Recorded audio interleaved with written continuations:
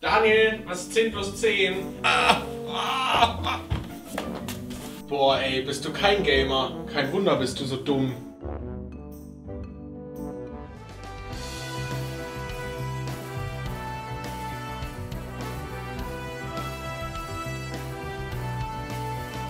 Dani, was ist 1337 mal 42? 56.154.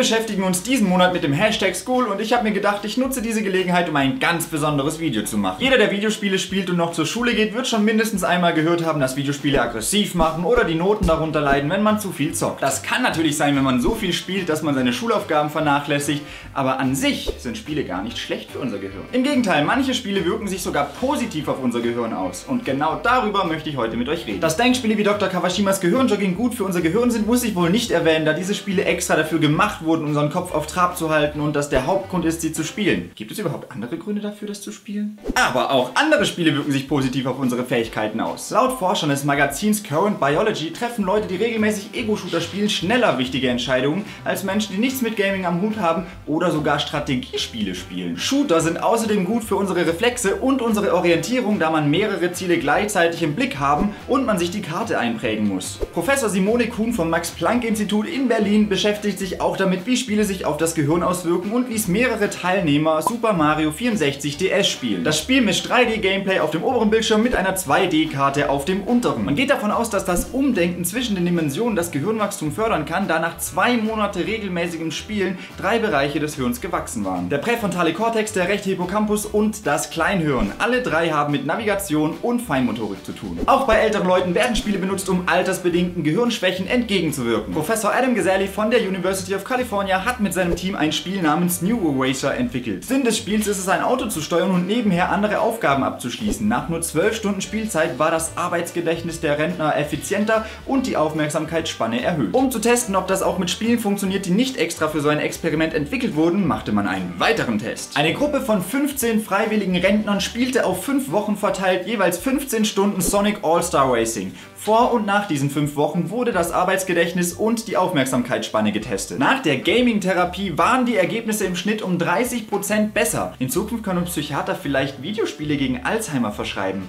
Das wäre übelst nice. Doch Achtung, nicht jedes Spiel ist automatisch gut für euer Gehirn. Es gibt zwar Spiele, bei der ihr nach einer gewissen Zeit immer besser werdet, die sich aber nicht auf eure Fähigkeiten im echten Leben auswirken. Laut einigen Neurobiologen der University of California hängt das mit den Dimensionen des Spiels zusammen. Spieler, die 30 Minuten am Tag 3D-Spiele spielen, schnitten im Gedächtnistest besser ab als Spieler, die 30 Minuten am Tag 2D-Spiele spielen. Somit sind 30 Minuten Super Mario 3D World am Tag besser für euer Gehirn als 30 Minuten 2D-Puzzles auf dem Smartphone. Die Studie Studie hat aber auch gezeigt, dass die positiven Effekte auf das Gehirn wieder nachlassen, wenn man aufhört, regelmäßig Videospiele zu spielen. Es verhält sich also so ein bisschen wie das Training von Muskeln. Ihr fragt euch jetzt vielleicht, warum Spiele dann nicht im Unterricht benutzt werden, wenn die doch so gut für unser Gehirn sind. Das liegt unter anderem am unflexiblen Schulsystem, der technischen Ausstattung einiger Schulen und daran, dass viele Lehrer zu viel um die Ohren haben, um ein Konzept ausarbeiten zu können. Es gibt jedoch auch Lehrer, die das auf die Reihe bekommen und einer davon unterrichtet zufällig auf der Schule, auf der Jonas, David und ich waren. Wir haben ihn gefragt und er hat sich bereit erklärt, das Unterrichtsprinzip in diesem Video zu erklären. Viel Spaß!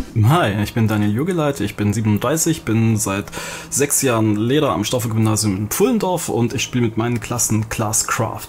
Das Ganze funktioniert so, ihr müsst euch einfach vorstellen, die Schüler sind keine Schüler mehr, sondern die Schüler sind Krieger, Magier und Priester und werden in Gruppen eingeteilt, die ungefähr fünf bis sechs äh, Teammitglieder stark sind.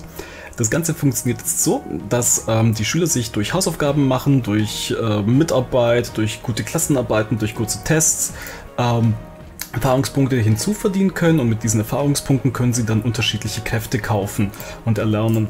Ihr könnt jetzt beispielsweise sehen, dass ähm, das Ganze ziemlich bunt und ziemlich stylisch aufgemacht ist und die Schüler lieben ihre Avatare. Und hier bei den Kriegern könnt ihr jetzt beispielsweise sehen, dass ein Krieger jemanden beschützen kann, wenn jemand Hausaufgaben vergessen hat. Ja, also wenn ich jetzt beispielsweise sage, oh, der hier hat äh, irgendwie die Hausaufgaben vergessen, zu spät zum Unterricht gekommen oder der hat hier sonst irgendwie Blödsinn gemacht, dann kann ich hier draufklicken und dann können sich seine Teammitglieder entscheiden, ihn zu beschützen oder eben auch nicht.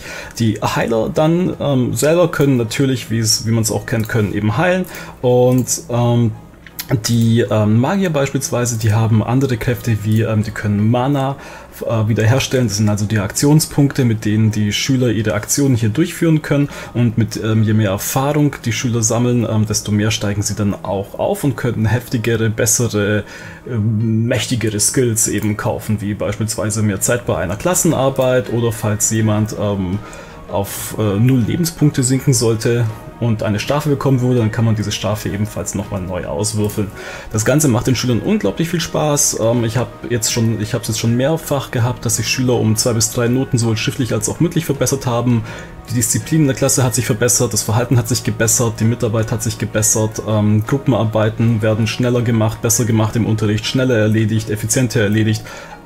In allem echt eine richtig super Sache. Falls ihr auch mehr Spiele in der Schule haben wollt oder mal wieder jemand zu euch sagt, dass Videospiele blöd machen, dann verbreitet doch dieses Video hier. Und in der Videobeschreibung lasse ich euch die Links zu den ganzen Studien, auf die ich mich bezogen habe und den Link zu Classcraft, dem Unterrichtsprinzip, das der Herr Jurgeleit anwendet. Bei Interesse könnt ihr da gerne vorbeischauen und euch das genauer anschauen. Hier auf der Seite findet ihr die anderen Videos zum Hashtag School und da unten könnt ihr uns auch noch abonnieren, falls ihr nichts mehr verpassen wollt. Vergesst nicht das Video zu bewerten, falls es euch gefallen hat und schreibt einen Kommentar. Wir sehen uns hoffentlich beim nächsten Mal wieder. Bis dahin, tschüss und auf Wiedersehen.